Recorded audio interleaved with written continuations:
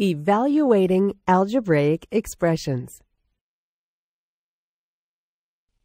When evaluating an algebraic expression, we must substitute the values of the variables into the expression, and then calculate the result following the order of operations, or PEMDAS.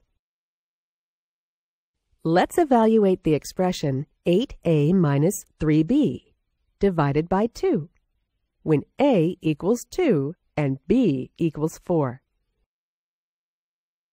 We will begin by substituting 2 for a and 4 for b.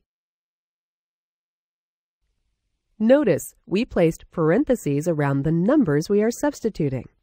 This will help us to remember to multiply the coefficient by the substituted value. If we don't use parentheses, the expression will have the wrong numbers. Now that we've substituted the values of the variables into the expression, we can evaluate it by following the order of operations. First, we must perform calculations in parentheses. There are no operations inside the parentheses to be performed, only numbers. So, we move to the second step in the order of operations, evaluating exponents. There are no exponents in this expression. The third step is to perform any multiplication or division in order from left to right. The first multiplication in this expression is 8 multiplied by 2. 8 times 2 equals 16. Next, we have 3 multiplied by 4, and that equals 12. Now we can divide. 12 divided by 2 equals 6.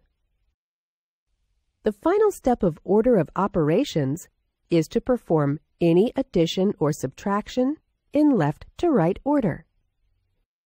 16 minus 6 equals 10.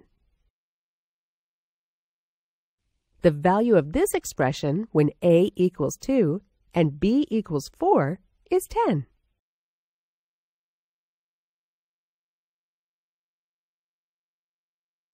In this lesson, you learned how to evaluate expressions with variables.